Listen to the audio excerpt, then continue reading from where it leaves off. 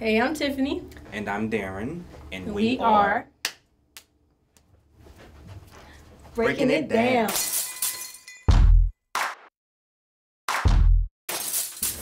So, Darren, have you heard of the school to prison pipeline? Yeah, what do you know about it? Well, it's a system of policies and practices that push disadvantaged students from schools to prisons.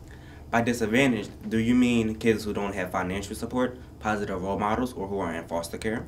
Yes, according to the ACLU, there are five major factors that contribute to the pipeline. The first is failing schools. By failing schools, we mean overcrowded classrooms, lack of quality teachers and books, few counselors, and few special education services. In failing schools, some students lose interest, and this leads to high dropout rates.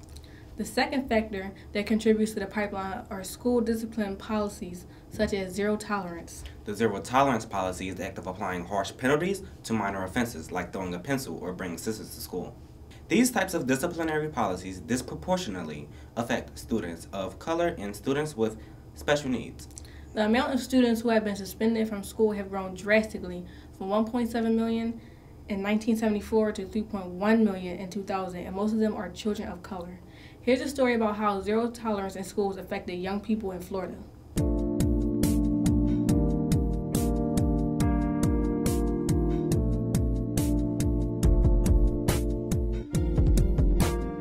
Dang, that was crazy. Yeah, I know. And right now, young people in Florida are organizing to change this. Dream Defenders, check them out.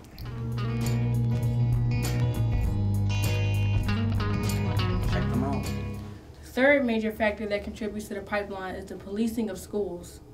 Yes, some schools maintain discipline by employing school police to patrol hallways. When schools rely more on police than teachers and counselors, it seems as though security is more important in schools than education.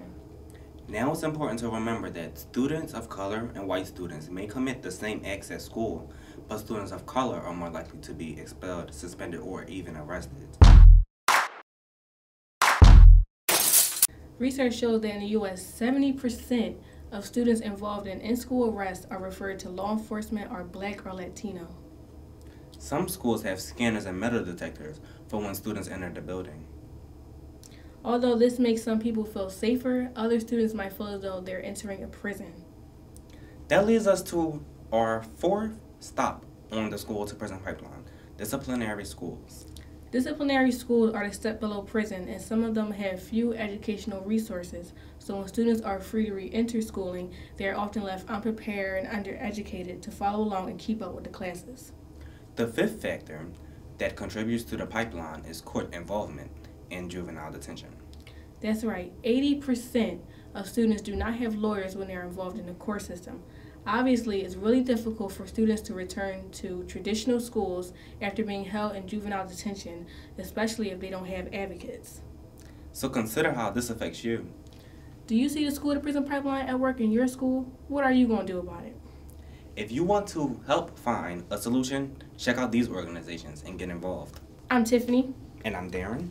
We just broke it down. 음, 음, 음. 음.